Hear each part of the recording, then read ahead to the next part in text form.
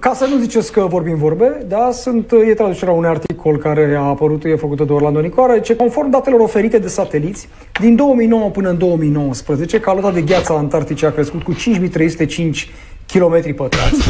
În ultimul deceniu, reducerea suprafeței din peninsula antarctică 6693 de km pătrați și Antarctica de vest 5560 de km pătrați a fost depășită de creșterea suprafeței în Antarctica de est. 3530 de km pătrați și de marile platforme de gheață Ross, Chiron, Filchner, 14.028 de km pătrați.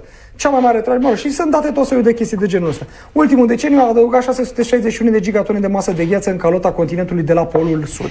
Adică, bă, până la urmă, eu, înțelegem cu toții că există niște schimbări bă, climatice, dar poate că ăsta e mersul, ca să zicem așa.